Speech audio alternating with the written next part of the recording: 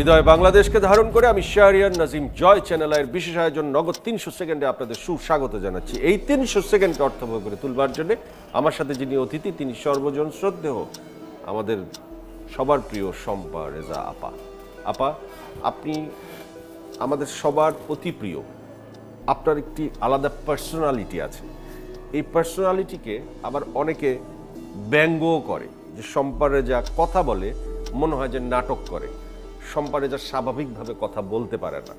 সম্পারে যা একটু কেমন যেন অন্য রকম মানুষ। এই যে অন্য রকম মানুষ কেউ কেউ আপনাকে বলে, মানুষ আপনাকে ভালোবাসে, কিন্তু এই অন্যরকম মানুষের বৈশিষ্ট্যগুলো আপনার ভেতরে কি পরিমাণে আছে, কেন আছে এবং বৈশিষ্ট্যগুলো কি? আমি জানি না, আমি একেবারে অজ্ঞ এই বিষয়ে। কারণ এত নিজেকে নিয়ে নিজের বিশ্লেষণ করতে আমার আমি সময় দেই না। আপনি কি স্বভাবজাতভাবে এভাবেই বড় হয়েছেন? হ্যাঁ এবং আমি কোনো অন্যরকমভাবে কথা বলি না। আমার মন যেভাবে বলে আমি সেভাবে বলি। এটা সবসময় আপনি সবসময় এই যে এই ড্যাম কেয়ার অ্যাটিটিউডটার কারণে কি কি সামাজিক প্রবলেমে আপনাকে পড়তে হয়েছে জীবনভর? সেটাও জানি না কারণ আমি একেবারেই সামাজিক না। আমি সত্যি বলতে জয় এগুলো নিয়ে মাথা ঘামানোর মানুষ না। কত কিছু আছে পৃথিবীতে মাথা ঘামানোর জন্য? সৌন্দর্য। পৃথিবীর ভরপুর সৌন্দর্য। ওইটা নিয়েই আমি ব্যস্ত থাকতে পছন্দ করি। নিজেকে যা কিছু না নিজেকে নিয়ে না। যা কিছু অসুন্দর সেটার মধ্যে নাই আমি। বাহ। নাই। আমি ছোট্টবেলা থেকে আমি আমার জীবনকে ঠিক করেছিলাম যে আমি সুন্দরের পূজা করব সুন্দরের এবাদত করব সুন্দরের সাধনায় থাকব। এবং তাই আপনি আছেন। হ্যাঁ। এটা কিন্তু ওই যে বাহ্যিক রূপের সৌন্দর্য নয়। এটা বিশ্বময় যে সুন্দর রে জয়। যেই সময় আপনার বেড়ে ওঠা সেই সময় তো আমাদের সামাজিক অবস্থা আরও বেশি কনজারভেটিভ ছিল। সেই সময়ে আপনি একটু ভিন্ন ধারায় বড় হয়েছেন পারিবারিক এটা ভুল ধারণা জয়। বরং এখন বাংলাদেশের যে মানসিক গঠন এটা বাংলাদেশের মানসিক গঠন ছিল না। এরকম লুকানো চূড়ানো এই বোরখা দেওয়া জগৎ ছিল না। এটা কেন হলো? কখন হলো? এটা এটা প্রচেষ্টার ফল। এটা করানো হয়েছে বাংলাদেশকে। বাংলাদেশে নিজস্ব যে ভাবনা যে চিন্তা যে ধরন সেটা থেকে একদম থ্রি সিক্সটি ডিগ্রি উল্টো দিকে ঘুরিয়ে এখানে আনা হয়েছে।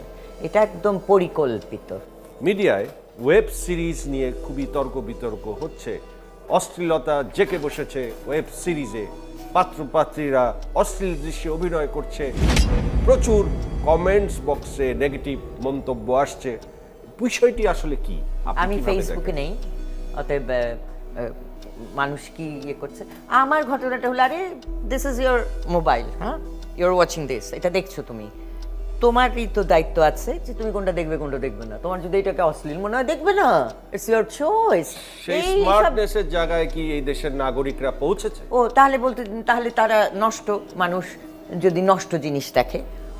আর আরেকটা কথা আমি সব সময় বলি আমরা কোনটাকে পর্নোগ্রাফি বলছি আর কোনটাকে রিয়েল লিটি বলছি এটার মধ্যেও কিন্তু একটা দ্বন্দ্ব আছে জয়। হ্যাঁ? যে প্রক্রিয়ায় পৃথিবীতে সন্তান জন্মায়, সেটা কেবল পর্নোগ্রাফি নয়, সেটা একটা আর্টও ওই দৃষ্টিটা, চোখের, মনের, ওই শিক্ষা, ওই শিক্ষাটাও নিয়ে আসতে হবে। আমরা তো বিদেশিগুলা দেখি।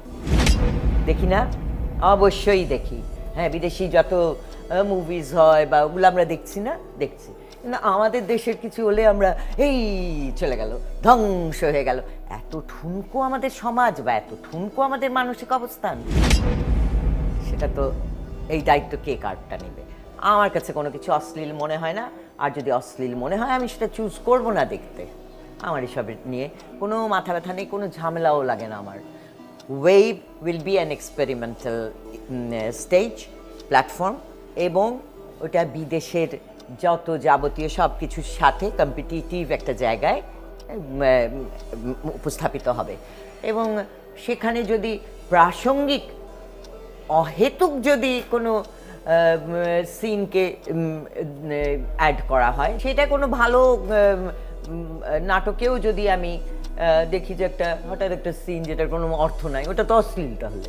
মানে অশ্লীল বলতে আমি সেটাকেই বোঝাই, যেটার কোনো অর্থ নেই।